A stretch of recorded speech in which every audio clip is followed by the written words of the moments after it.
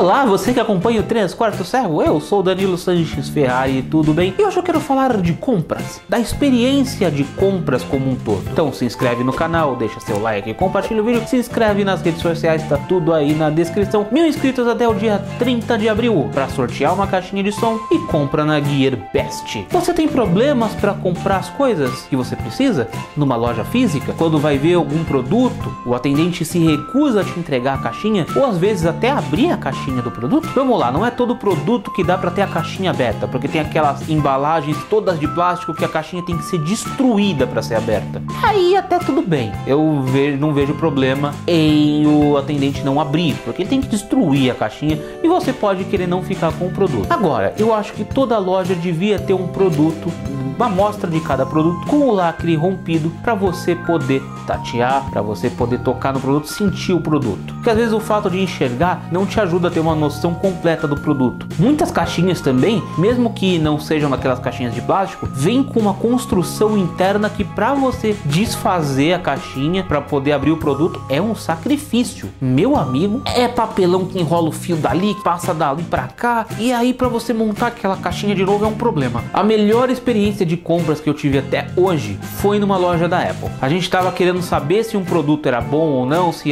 como seria o produto, a gente queria testar um produto. O vendedor rompeu o lacre do produto pra gente, abriu, a gente pôde ver, optamos por não comprar o produto e o vendedor não ficou chateado, nada. Ele levou o produto para dentro, não sei se ele ia ser devolvido para a fábrica para ser reembalado ou coisa assim do tipo, mas ele rompeu os lacres do produto e tirou os saquinhos do produto. E a gente pôde ver o produto. Eu acredito que devia ser assim em toda loja ter pelo menos um produto ali aberto para a gente poder tatear.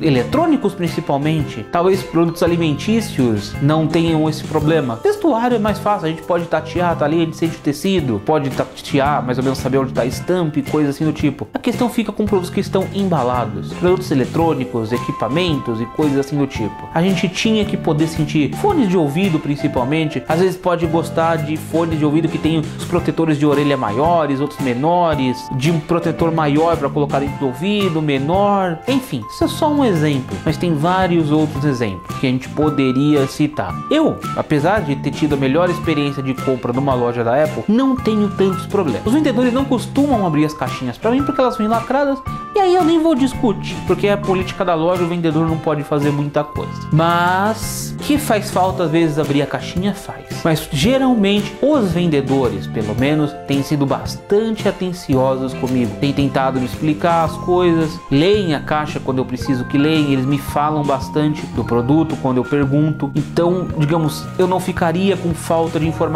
Já tive problema com um vendedor mal intencionado? Já acho que foi uma ou duas vezes. Já tive problema com um vendedor com má vontade? Também já tive. Mas na maioria dos casos eu tenho sorte, os vendedores são tranquilos comigo. Talvez eu não sofra tanto porque meus olhos são esbranquiçados e aí o vendedor já saiba que eu sou deficiente visual. Eu fico pensando que talvez uma pessoa que é baixa visão e não tenha os olhos esbranquiçados, não tenha os olhos destacados e tenha algum problema, deva sofrer mais. Por mais que às vezes possa ser constrangedor ter olhos esbranquiçados, azulados, esbranquiçados, possa chamar a atenção, as pessoas possam ficar olhando, isso possa ser ruim, afete principalmente meus pais, porque eu principalmente não ligo, traz alguns benefícios, porque as pessoas já sabem que você tem problema e elas vão te ajudar sem muito questionamento. Então, apesar desse problema, dessa questão estética um pouco negativa, é positivo no fim das contas, entende? Eu tenho poucos problemas. Eu acho que eu sou um ponto fora da curva pelo que eu tenho notado nos comentários, porque muita gente tem relatado nos comentários dos vídeos afora que sofre por ser baixa visão. Então, mais uma vez, usa a bengala que vai ajudar. Não tenha vergonha de usar a bengala. Se vai ser a bengala branca ou a verde, aí fica por sua questão. Eu ainda tô pensando um pouco sobre a bengala verde para fazer um vídeo a respeito dela. Onde a gente costuma ter mais problema de venda são essas lojinhas menores é, que não são grandes marcas, que não são grandes nomes, que às vezes é um ou dois vendedor que estão querendo vender e não estão querendo dar atenção. Nessas lojas a gente costuma ter um pouquinho mais de problema. Se bem que eu, como eu disse, passo por poucos problemas, mesmo em lojas grandes e lojas pequenas. Eu tenho pouquíssima dificuldade. É lógico, nem todo vendedor abre produto. Nas lojinhas pequenas até é mais fácil do vendedor abrir o produto que ele não tem que prestar satisfação com o gerente, com como os gerentes dele. Geralmente o vendedor de loja pequena é o próprio dono. Então, nessa questão de abrir o produto, às vezes a lojinha pequena é melhor. Quando você tem um subordinado em lojinha pequena é um pouco mais complicado. Aí, o atendimento de loja grande costuma ser um pouco melhor. E você? Costuma ter problema com experiência de compra? Como é a sua experiência de compra no geral? Você tem problemas? Deixa aí nos comentários. Deixa seu like, compartilha o vídeo, me segue nas redes sociais e se inscreve no canal Compra na GearBest. Vamos chegar a mil inscritos até o dia 30 de abril. Beleza? Vamos lá, muito obrigado, valeu, falou!